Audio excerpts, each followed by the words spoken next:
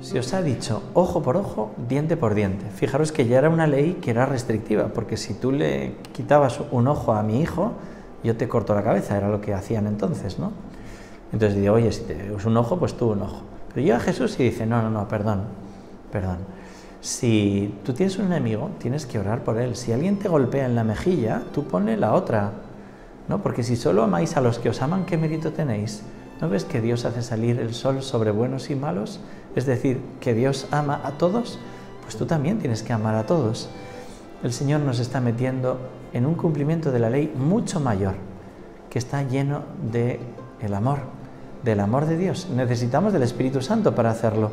Pero es importante pedirlo, Señor, concédenos el Espíritu Santo para amar hasta el extremo, no solo los mínimos, sino para ser santos. Que Dios os bendiga a todos.